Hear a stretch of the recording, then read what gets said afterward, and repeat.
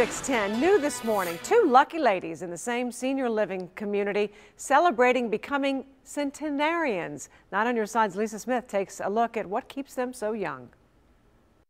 To the right! Even in a senior living community, it's a big deal when two residents are turning 100 years old.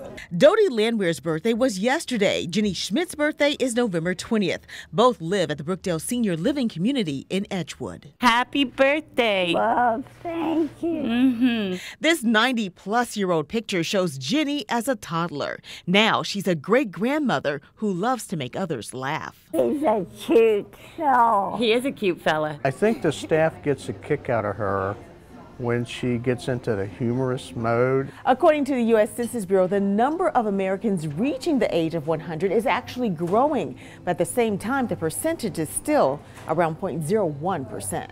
At 100 years old, Dodie Landwehr stays active, whether dancing or crocheting adorable toy blocks for babies. Her son says she was crafty before crafty was a thing. She's been doing that for quite a few years. She's always been really, really crafty and handy and she was always involved in a lot of uh, civic organizations. She ran the family's hardware store in the early 60s after her husband's sudden death. It was work, but it was fun.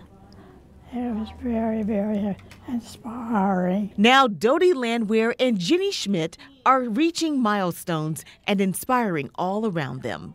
Lisa Smith, 9 on your side.